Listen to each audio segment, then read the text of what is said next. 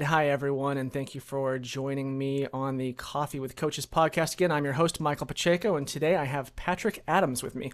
Patrick is an internally recognized. crap, not internally. Let's try that again. No worries. All right. Hey, everyone. Thank you for joining us on the Coffee with Coaches podcast. Once again, I'm your host, Michael Pacheco, and today with me I have Patrick Adams.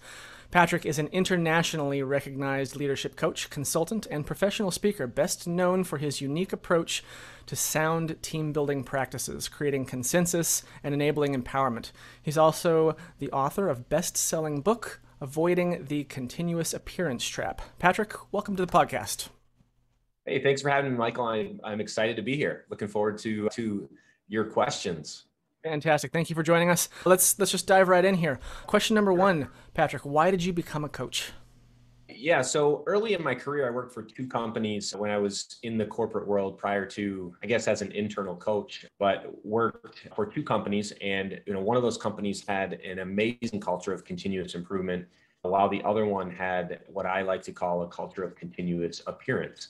And, you know, if you walked into both of those organizations, they would look very similar at the surface, but underneath, you know, all the floor tape, the pre scorecards, the lean posters, underneath all of that, you know, for the company that I call company continuous appearance was a very toxic culture where people hated to work.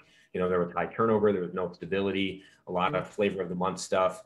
And in in working for those two companies, it was like night and day, eh, you know, as far as the culture goes. And for me, being an, an internal coach at that time, I, I just felt like I needed to do something more for you know companies out there that are struggling with this culture of continuous appearance that you know that I call it.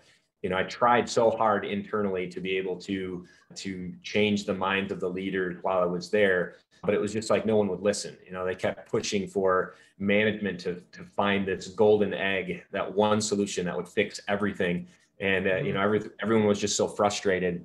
So I just decided to dedicate myself to, to helping people who are working in companies like this to get out of this culture of continuous appearance, as I call it. Right on. Question number two What are you doing in your coaching business today that is unique? Yeah, so our, our purpose in my coaching business is to empower and equip people for positive change. Uh, so I would say that we're successful um, because we model a culture that's very important to the people that we serve. Um, each member of our team shares five core values that support that culture. And those core values are people first, whatever it takes, dedicated to truth, growth oriented, and fun. And so I think that's really what sets us apart is just being being completely aligned with that purpose and those those core causes that that you know we all have in, in, as traits you know among our our team. So mm-hmm. okay, cool. Moving on to question number three How do you find your clients? Yeah, most of our clients come from uh, word of mouth and referrals. I would say, I would say probably 90% of them do. We tend to work with our clients for uh, long term because we we build strong relationships, and obviously they they see the they see and and feel the results of the work that we do with them. But I would say that's where the majority come from is word of mouth and referrals. Mm-hmm. Okay, right on. Question number four What is the biggest challenge that you face as a coach?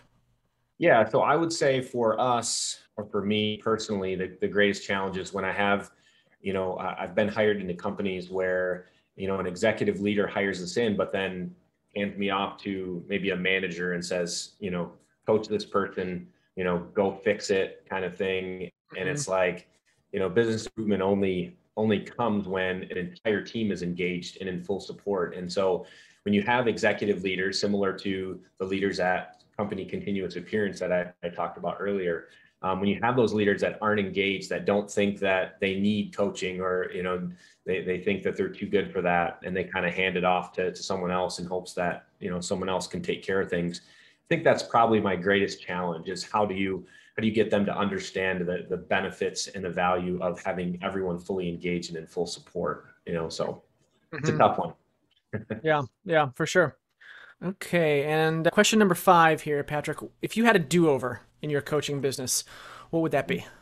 Yeah, so I would say to be patient. You know, sometimes I want things to happen too quickly. I I'm, I'm very much a driver, and so you know I do have a great team, but sometimes I push uh, things myself to try, I Mhm. try to push things myself too quickly, you know, rather than tapping into my team and allowing time for things to kind of work themselves out. So I would say if I was going to go back and have a do over, you know, for my particular coaching business, I would say just to be patient and allow time to for things to to happen rather than trying to push push stuff. I can. I think we can probably all sympathize with that one. Right. Awesome. Okay. And the big bonus question here: If what is one book that you would recommend all of your clients read? I mean, outside of my own book, there's there's a number of them out there, I guess, that I that I would recommend. But I think Katie Anderson's Learning to Lead, Leading to Learn. She wrote the foreword in my book, but it's a really great book about culture. So I would go there. Uh, also, if if people haven't read Jeff Liker's Toyota Way, he just released the second edition of the Toyota Way, so that's another really good one for for lean leaders. Awesome. Awesome. Love it. Is there anything uh, that you would like to promote, and where would people where where can people connect with you online? So I'm, I'm always available on LinkedIn. I, I do my best to try to get back to people as quickly as I can uh, with messages there. But uh, you can go to our website at findleansolutions.com. Uh, you can find my book at avoidcontinuousappearance.com. It's also on Amazon. You can search either Patrick Adams or Avoiding the Continuous Appearance Trap. So that's available in both the paperback or the Kindle. I'm also working on an audiobook right now for that. So that should be coming out uh, towards the end of this year. And then we're also putting together a workbook that goes along with the book for teams to do book studies with. So, but I would say, you know, either find me on LinkedIn, website, shoot me an email. I'm pretty easy to access. Beauty. Satisfy my own personal curiosity. You're doing an audiobook. Are you recording the audio? Are you are you doing it, or are you, are you having Yeah. someone else do it?